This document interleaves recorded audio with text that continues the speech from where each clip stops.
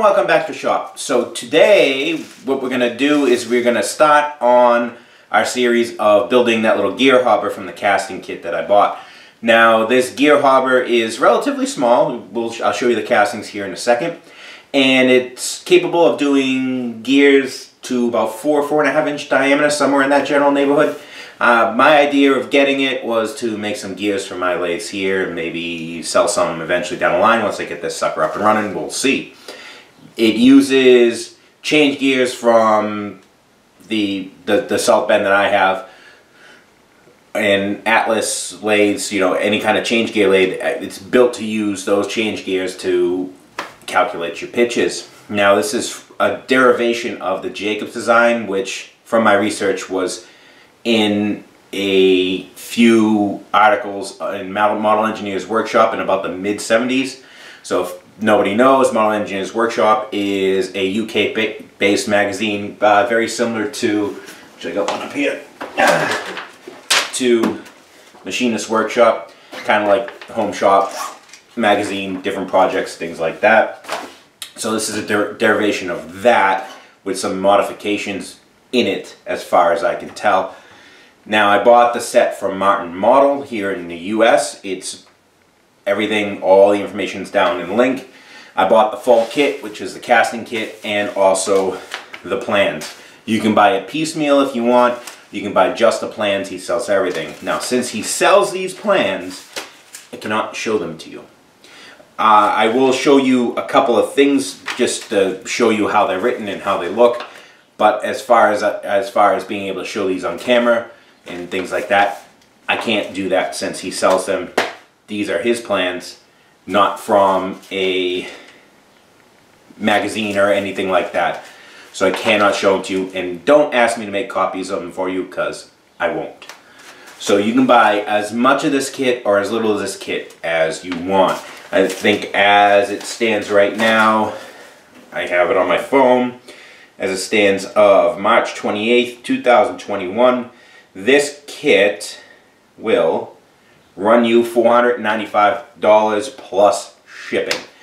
Now, I bought this myself. I have zero affiliation with Martin Model. I have zero affiliation with anybody involved in selling these castings, in building these castings, or anybody that wrote these plans.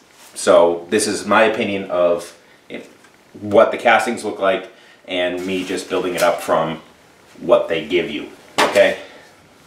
So before we go and look at these castings, I just want to let you know how this series of videos is going to be formatted.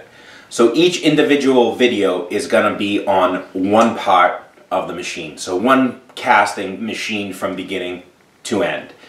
There are a few pots that you make without castings like the spindles and things like that. But in other words, each pot will just be its own individual video and then probably the last one would be assembly or something like that. So that way there, if you do buy these castings, you can refer to these videos for each individual part and see how I did it.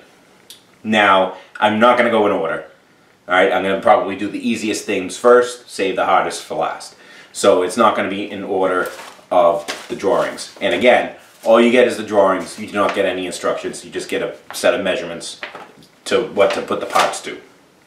As far as equipment goes, you can probably get away with doing this on a small lathe and a decently sized milling machine.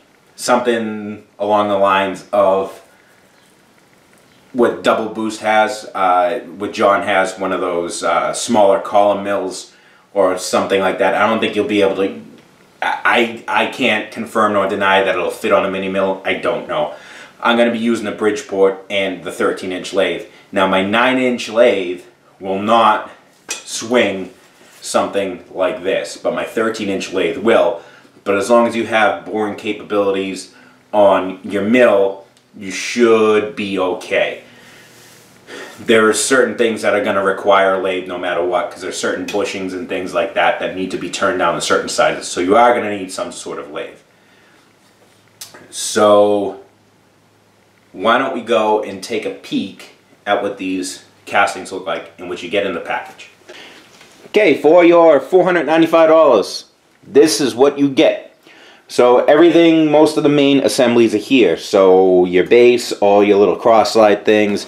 This is your swivel base. These will hold the gears to give you your ratios. One of these is going to be a works work uh, spindle. Work holding spindle will hold the piece being cut.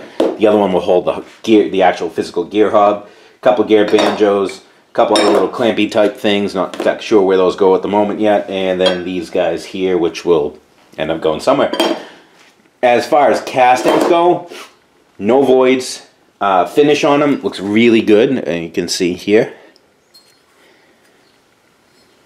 Okay, and you can see each one is numbered, and that corresponds to the plan. So in the actual drawings, drawing GH9 is this piece here and how to machine it. As far as, like I said, as far as the castings go, you have a little bit of cleanup on the parting lines. What's weird is like some of them, you can see somebody has been grinding at that one and some of them don't have that cleanup. But not a big thing, just with either a grinding wheel or a belt sander, just kind of get that flash off, not a huge thing. As far as the castings go, no real flaws in them. The only issue that I saw is on this one here. I don't know if you can see. It looked like they're off a little bit on the parting area. You can see the kind of the gap there. It's not a huge thing. It's just like a clamping bolt that goes through here once this gets split. But besides that, that's the only real flaw I can get. As far as any voids or anything, doesn't look like any sink marks in any of them. So we should be okay. Alright, just so I want to let you guys know what you're getting into, uh, this is the one and only time I'm going to show any of these plans, and I'm only going to show a few just to illustrate a point. And so you're going to get a list like this that has all the drawings, and you're going to get part call-out numbers here for McMaster-Carr and some other places for parts you're going to need to purchase. So depending on if you have the stock for the spindles handy or not, or whether you have to order it. On top of that $500, you're probably going to spend another 200 to 250 in parts alone. Um, just to be aware what you're getting into. Also, this has the the ball cranks for this originally came from Enco, which doesn't exist anymore. But there are drawings for the size. You can order them somewhere and make your own handles or whatever you want. But my problem with these drawings is they're a little wonky. So there's like this diameter is given as a radius, not a huge thing. This is the first pot we're making and you can see there is no size callouts for these holes. There's also, they're obviously elongated. There are no uh, length callouts for there.